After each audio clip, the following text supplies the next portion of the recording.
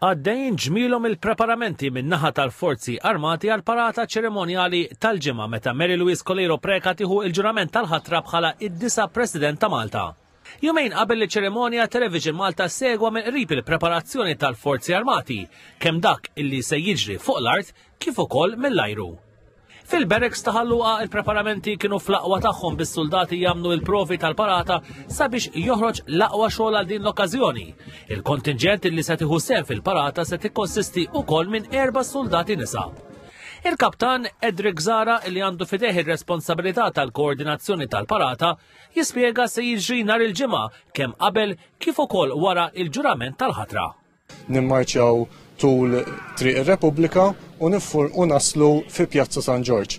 Hemmhekk Pjazza San Ġorġ nistennew il-Kap Mandant tal-Forzi Armati, il-Prim Ministru u mbagħad il-President. Minn hemmhekk ehm, ħa jingħata 21 gun salut li ħajkun qiegħed bħala kanuni ħajkun hemm erba' kanuni jkunu qegħdin fuq il-fosos ta' San Tirmu ehm, jisparaw il-21 tir waqt li li l-Presidenta eh, tkun qed tieħu l-ġurament. Il-kap tal-żara jispjega li wara iċ-ċerimonja tal-ġurament tal-ħatra, il-President Kolejro Preka tagħmel l-ewwel ispezzjoni uffiċjali tagħha tal-Gwardja tal-Unur u għall-ewwel darba l-innu Malti se jitkanta minn disa' kantanti stabiliti.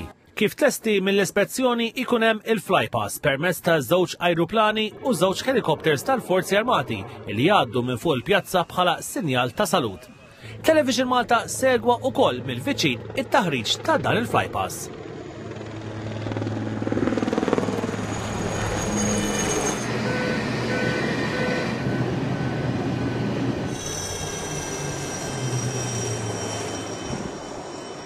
Il-kontinġent tal-Forzi Armati ta' Malta se tkun akkumpanjata mill-Banda tal-Forzi Armati, kif jispjega id-Direttur tal-Mużika, il-Maġġur Ivan Borg. Għaw konna it-tlet saluts prinċipali, wieħed għal Commander tal-AFM, ehm, l-innu nazzjonali parti, l-ewwel parti tal-innu nazzjonali għal Prim Ministru u l-innu nazzjonali komplut għal wasla tal-President George Abela. Għall-ewwel darba fl-istorja tal-Presidenza, il-President ta' Malta se jkollha ajutant personali mara, filwaqt li il-kmandant tal-parata għal din l-okkażjoni se jkun il-Maġġur Joseph Pisani.